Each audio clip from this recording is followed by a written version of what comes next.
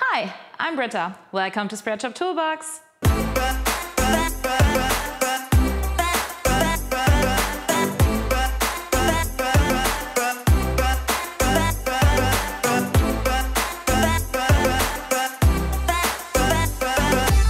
Today I'm going to show you how you can verify your shop URL with Facebook to set the foundation for your social commerce game.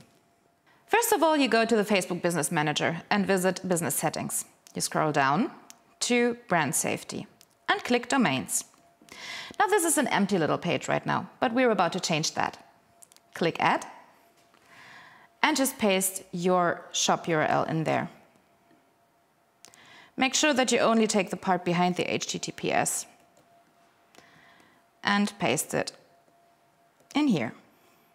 Click Add and now you've got your shop in your Business Manager. And now your domain is within the Business Manager. Next step is you have to copy this very long, very cryptic meta tag. If you click on it, it's copied already. So just go to your partner area next go to the shop settings, marketing, Facebook and Instagram, and paste the meta tag we just copied in here. Now you see there's a little error message, but we can fix that very easily. Just get rid just get rid of the stuff in front and after this cryptic mixture of numbers and letters. And there is our meta tag. Now click Apply Changes.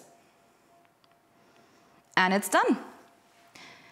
Now we just go back to the business settings in our business manager and click Verify Domain. Congratulations, your shop is verified. It can take up to 72 hours though until Facebook recognizes your shop as one. So just be a little patient, create new designs and make your shop awesome.